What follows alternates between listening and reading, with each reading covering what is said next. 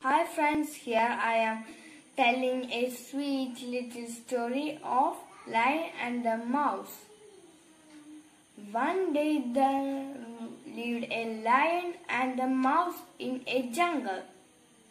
One day the lion was resting under a tree. The naughty mouse came and started to play upon him.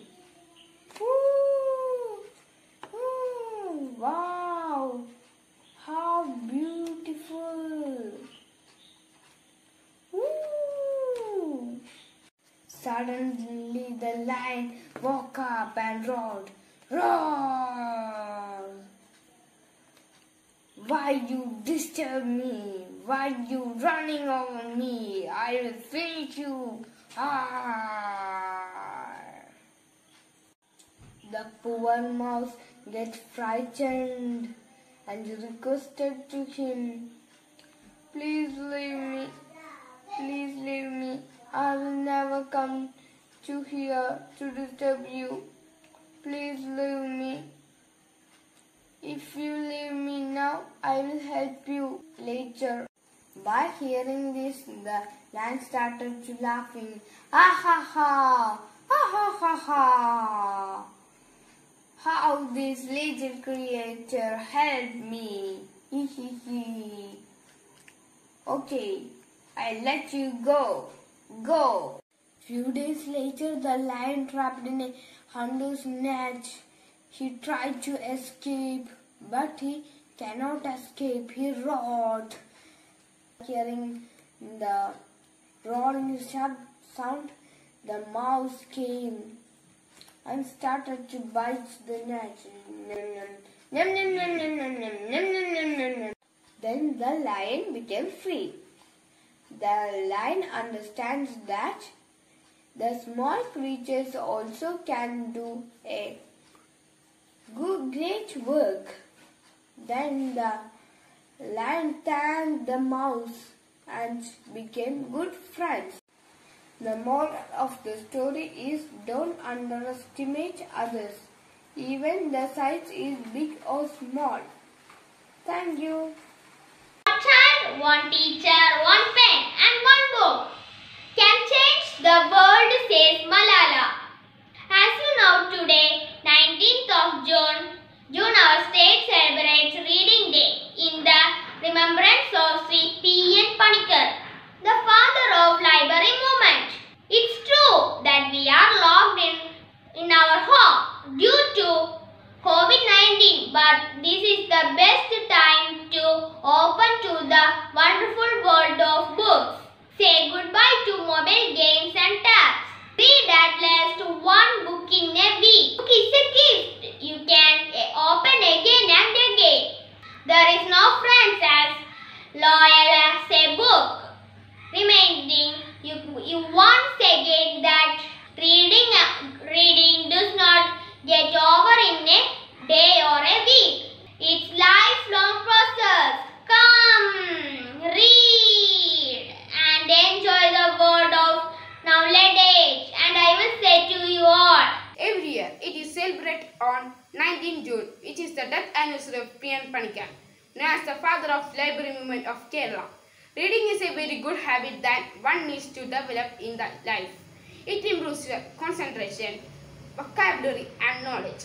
Once you start, start reading, you experience a bold new world. Good books can inform you, enlighten you, and lead you in the right direction. Books are not to be the best friend for us. The library, the father of library movement in Kerala. He gave this message of read and grow. This day started on 1996. Each aim at develop a reading habit in children. Reading teaches us new words. We also learn more, uh, uh, more new things from books. My mother reads bedtime uh, stories to me. I also read for 30 minutes daily. My is Pathuma by Muhammad Bashir. What is your favorite book? One child, one teacher, one pen and one book can change the world says Malala. Respected teachers, parents, and my dear friends, good morning to all. As we all know, today, 19th of June, our state celebrates Reading Day in the remembrance of Sri P. N. Panikar, the father of library movement. It's true that we are locked in our home due to COVID-19. But this is the best time to open to the wonderful world of book. Say goodbye to mobile games and tabs. Read at least one book in a week. Book is a gift that you can open again and again. There is no friend as loyal as a book. Reminding you once again that reading does not get over in a day or a week. It's a li- lifelong process. Come, read, and enjoy the world of knowledge. Our state celebrate Reading Day in the remembrance of Sri P. N. Panikar, the father of library movement. It is true that we are locked in our home due to COVID-19, but this is the best time to open to the wonderful world of books. Say goodbye to pile games and tabs. National Reading Day is celebrated each year on 19th June. 2021 marked the silver jubilee year for this event. It is dedicated on the memory of P. N. Panikar, who died, died on 19th June 1995. He was the father of library movement in Kerala and he gave the message of read and grow. National Reading Day is celebrated to honor the habit of reading in all and motivated students to read. सबको मेरा नमस्कार मेरा नाम है अल्फोंसा सुसना आज मैं श्री सोहनलाल द्विवेदी से लिखा हुआ एक प्रसिद्ध कविता प्रस्तुत करती हूँ कविता का नाम है प्रकृति कहती है पर्वत कहता शीश उड़ाकर तुम भी ऊंचे बन जाओ सागर कहता है लहराकर मन में गहराई लाओ समझ रहे हो क्या कहती है उठ उठ गिर गिर उठ उठ गिर गिर तरल तरंग भर लो भर लो अपने मन में मीठी मीठी मृदुल उमंग പഴത്തിൽ വ്യാഖ്യാനം തിരുവായ്ക്ക് എതിർവായില്ല അധികാരമുള്ളവരുടെ വാക്കുകൾക്ക് എതിർവാക്കില്ല കക്കാൻ പഠിച്ചാൽ നിൽക്കാനും പഠിക്കണം. ഏത് പ്രവൃത്തി ചെയ്യുമ്പോഴും അതിന്റെ പരിണത ഫലം അറിഞ്ഞിരിക്കണം. ചൂടുവെള്ളത്തിൽ വീണ പൂച്ച പച്ചവെള്ളം കണ്ടാലും അറക്കും. മുൻ അനുഭവം ഏത് പ്രവൃത്തിക്കും ഒരു മുൻകരുതലാണ്. കൊതിച്ചത് വരാ വിധിച്ചതേ വരും. ആഗ്രഹിച്ചതൊന്നും ലഭിച്ചത് മറ്റൊന്നും. കഴിച്ചിട്ടിറക്കാനും വയ്യ മധുരിച്ചിട്ട് തുപ്പാനും വയ്യ സ്വീകരിക്കാനും ഉപേക്ഷിക്കാനും കഴിയാത്ത അവസ്ഥ. നിലാവത്തയച്ചുവിട്ട കോഴിയെ പോലെ സ്ഥലകാല ബോലം ബോധമില്ലാതെ. വായറിയാതെ പറഞ്ഞാൽ ചെവിയറിയാതെ കൊള്ളും. വാക്കുകൾ സൂക്ഷിച്ചുപയോഗിക്കാം അരച്ചു തരുവാൻ പലരും ഉണ്ടാകും. കുടിക്കാൻ താനേ ഉണ്ടാകും. ആവേശം കൊള്ളാൻ പലരും ഉണ്ടാകും. അനുഭവിക്കാൻ ഒറ്റയ്ക്കേ ഉണ്ടാകും. താങ്ക് യു വായിച്ചാലും വളരും വായിച്ചില്ലേലും വളരും. വായിച്ചു വളർന്നാൽ വിളയും. വായിക്കാതെ വളർന്നാൽ വളയും. കുഞ്ഞുണ്ണി മാഷിന്റെ ഏതാനും വാക്കുകളാണിത് കുഞ്ഞുണ്ണി മാഷിന്റെ കവിതകൾ എനിക്ക് ഒത്തിരിയേറെ ഇഷ്ടമാണ്. ചിന്തിപ്പിക്കാനും ചിരിപ്പിക്കാനുമുള്ള കഴിവ് കുഞ്ഞുണ്ണി മാഷിന്റെ കവിതയ്ക്കുണ്ട്. ആവശ്യമില്ലാത്ത വികസനത്തിന് വേണ്ടി പ്രകൃതി നോക്കുന്നത് കുഞ്ഞുണ്ണി മാഷിനെ ഏറെ വേദനിപ്പിച്ചിരുന്നു പ്രകൃതിയെ കാക്കണമെന്നാണ് കുഞ്ഞുണ്ണി മാഷ് പണ്ട് പറഞ്ഞിട്ടുള്ളത്. ഈ സന്ദേശവുമായി അദ്ദേഹം അര അരനൂറ്റാണ്ടുകൾക്ക് മുമ്പ് എഴുതിയ വസുമതി എന്ന പുസ്തകത്തിലെ രണ്ടുപേരി കവിത ചൊല്ലി ഞാനിവിടെ അവസാനിപ്പിക്കുകയാണ് തരിശാക്കി ഇടാൻ പാടില്ലാരും മഞ്ഞിലോരേടവും തരമോർത്തുള്ള ദിക്കെല്ലാം കൃഷി ചെയ്യുവിനേവരും നല്ല വൃക്ഷങ്ങൾ നന്നായി നട്ടുപോറ്റണമേവരും മക്കളെ പോറ്റിയിടും പോലെ വൃക്ഷത്തെയും വളർത്തണം. വായിച്ചു വളരുക ചിന്തിച്ച് വിവേകം നേടുക എന്ന മുദ്രാവാക്യത്തിലൂടെ കേരളത്തെ വായനയുടെ ലോകത്തേക്ക് ഉയർത്തിയ ഒരു വലിയ മനുഷ്യനാണ് അദ്ദേഹം. വിദ്യാർത്ഥികളായ നമ്മുടെ കടമയാണ് അറിവ് നേടുക എന്നത്. അതിന് ഏറ്റവും പ്രധാന മാർഗം വായനയാണ്. നമുക്ക് പുസ്തകങ്ങളോട് ചെങ്ങാത്തം കൂടി മാനസികവും ബുദ്ധിപരവുമായ കഴിവുകൾ വികസിപ്പിക്കാം. ലോകത്തിന്റെ വെളിച്ചമാണ് പുസ്തകങ്ങൾ. ആ വെളിച്ചം കണ്ടുവേണം നമ്മൾ വളരാൻ. എന്നാൽ ഇന്ന് വായന കുറഞ്ഞു വരികയാണ് നമ്മുടെ പുതിയ തലമുറ. മൊബൈലിലും കമ്പ്യൂട്ടറിലുമായി ചുരുങ്ങിപ്പോകുന്നു.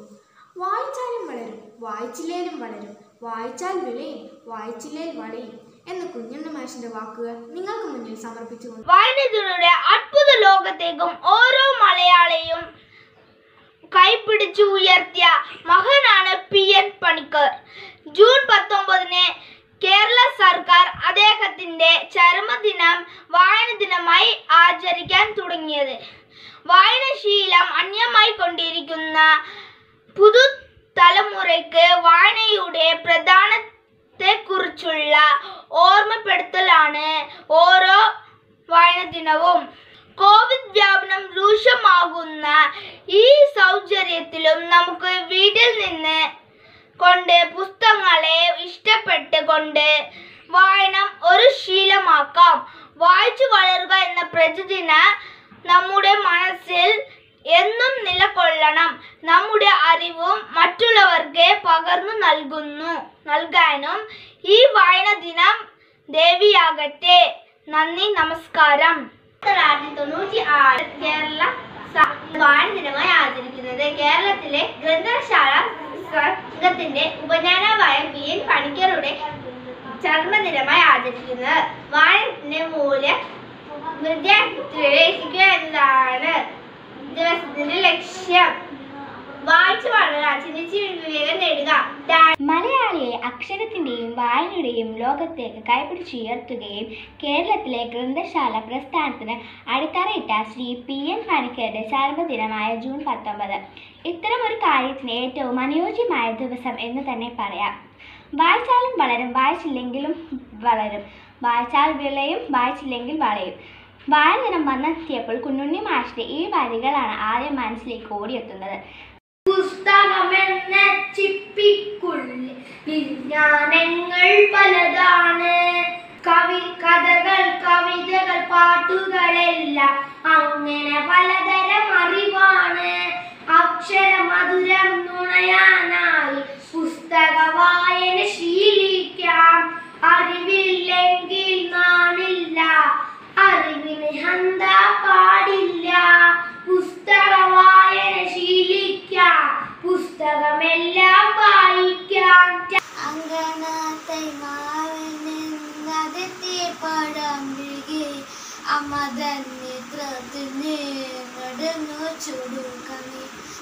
മാസത്തിനും വേറെ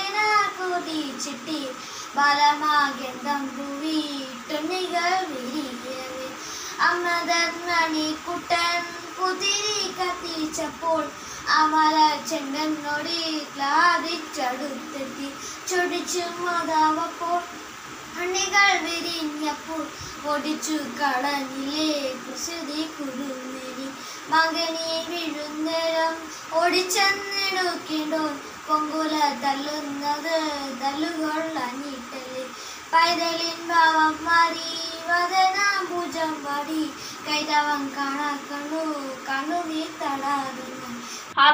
മുത്തുകൾ ചേർന്ന് വെച്ചൊരു പുസ്തകം എന്നൊരു ലോകം. കഥകൾ കവിതകൾ കളിച്ചിരിയെല്ലാം കണ്ട് റെസ്റ്റിൽ നടക്കാം. കുട്ടികൾ നമ്മുടെ ഭാവി നന്നാകുവാൻ പുസ്തകം നെഞ്ചോട് ചേർക്കാം. അക്ഷര ലോകത്ത് പിച്ച നടന്നിട്ട് നാളേതാൻ വാഗ്ദാനമാകാം.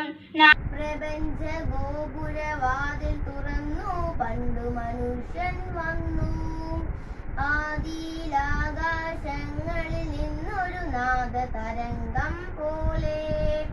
കാലത്തിന്റെ ശിരസിലിരുന്നൊരു പീലി തിരുമുടി പോലെ. സ്വപ്നം കാണും തിരുമിഴികൾക്കൊരു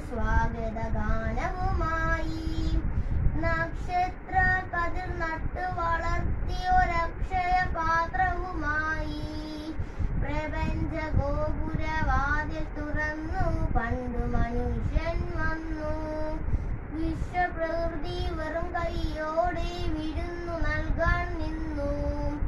അന്നു മനുഷ്യൻ തീർത്തു ഭൂമിയിലായിരം ഉജ്ജ്വല ശില്പങ്ങൾ അളക കുഴികൾ മധുര കുഴികൾ കലയുടെ അമരാവതികൾ. ഐശ്വര്യ സമൃദ്ധികൾ ചൂടി അനശ്വരയായി ഭൂമി. സങ്കൽപ്പത്തിനു ചിറകുകൾ കിട്ടി സനാതയായി ഭൂമി. മണ്ണിലെ ജീവിന കനികളിൽ മുഴുവൻ പൊന്നു വിളഞ്ഞതു കാണേ സൂര്യൻ കോപം കൊണ്ട് ജ്വലിച്ചു ശുക്രനു കണ്ണു ചുവന്നു.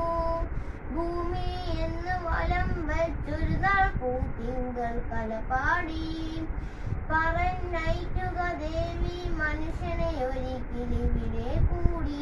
ശരങ്ങൾ കോർത്തു വായിച്ചെടുത്തു ഞാൻ. ആദ്യമായി എന്റെ പാഠപുസ്തകങ്ങൾ അക്ഷര തെറ്റുകൾ മാറി. മാറി ശരിയായ വാക്കുകൾ കണ്ടെത്തി ഞാൻ വായന എന്റെ കൂട്ടുകാരായി. എൻ ജീവിത വിജയത്തിൽ വന്ന് എന്നും എന്നും അറിവിതിളങ്ങും അക്ഷരമുത്തിൽ വാക്കുകൾ ഉണരുന്നു. അവ പുസ്തകമാവുന്നു. ആരും കാണാ വഴികളിലൂടെ കഥകൾ. നമ്മെ നയിക്കും. ഈണം ചാർത്തിയ കവിതകൾക്കുള്ളിൽ മധുരം പെയ്ത് നിറയ്ക്കും.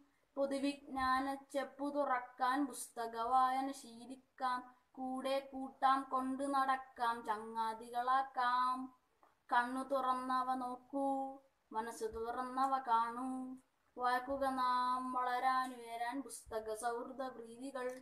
നീ ഇത് കാണുമ്പോൾ ഒരാൺ കുഞ്ഞിതാ തൻ കുഞ്ഞിക്കൈയിൽ ചെറിയ പാൽപാത്രവുമായി പയ്യനെ കാലേ കറന്നിടും അമ്മതൻ മെയ്യിൻ വശം വലം വശം ചാരി നിൽപ്പു.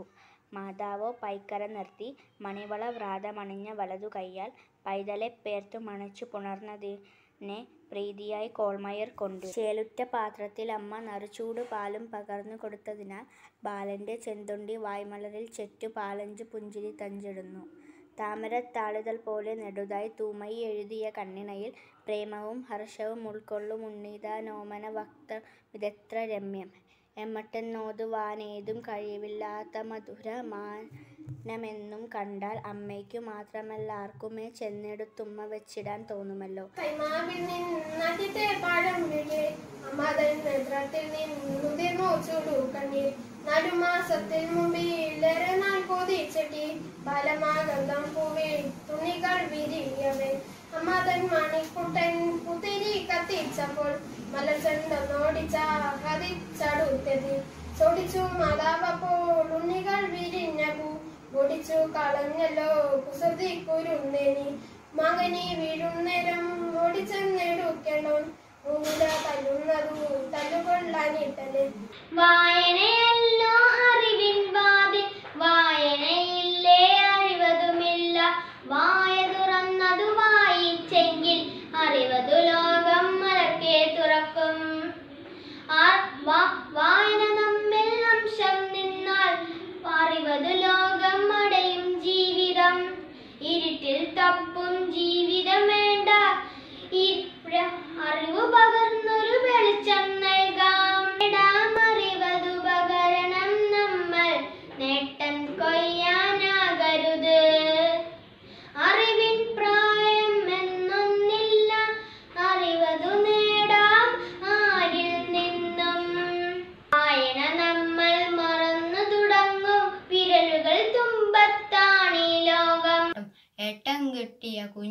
കുഞ്ഞിപ്പട്ടം കുട്ടരു തീരുമാനത്ത് എട്ടും പൊട്ടും തിരിയാതങ്ങനെ വട്ടം പാറി കാറ്റത്ത്. കുട്ടനുയർത്തുന്ന വട്ടം കാണാൻ കുട്ടികളൊക്കെ ചാരത്ത്. കുട്ടികൾ കൂട്ടം കൂടി കണ്ണുകൾ നറ്റു ദൂരത്ത്. പെട്ടെന്നാവഴി ചുല്ലുമായി അച്ഛൻ വന്നൊരു നേരത്ത്. കുട്ടൻ ഞെട്ടി കുട്ടികളോടി പട്ടം പൊട്ടി താഴ്ത്ത്. നന്ദി.